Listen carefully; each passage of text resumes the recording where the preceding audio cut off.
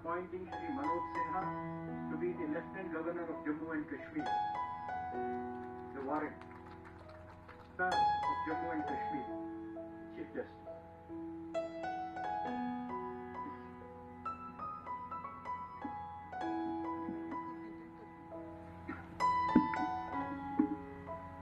I, Manoj Sinha, do swear in the name of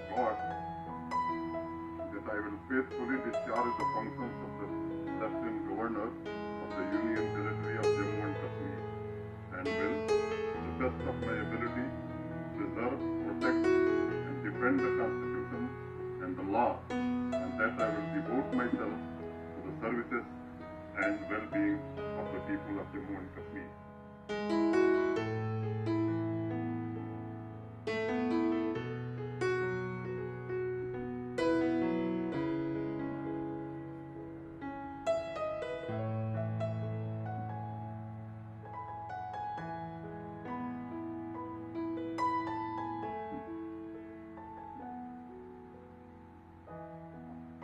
Your permission, Honorable Lieutenant Governor.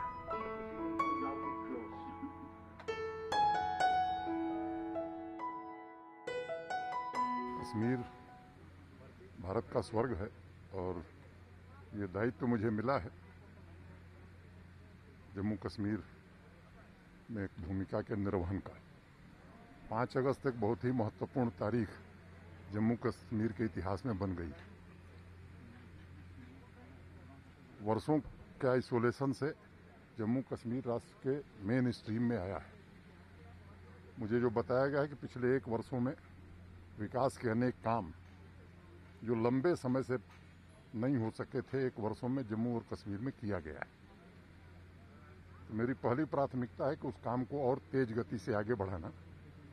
दूसरा, मुझे लगता है कि जम्मू कश्मीर के जो सामान्य लोग हैं, यहाँ की जो जमहूरियत है उससे संवाद स्थापित करना, उनमें एक नए प्रकार का विश्वास पैदा करना।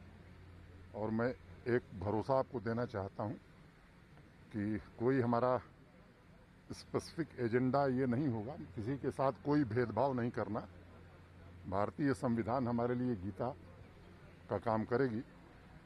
संवैधानिक शक्तियों का प्रयोग जम्मू कश्मीर के लोगों की भलाई के लिए, जम्मू कश्मीर के विकास के लिए जितना अधिक से अधिक किया जा सकता है मैं कोशिश करूँगा।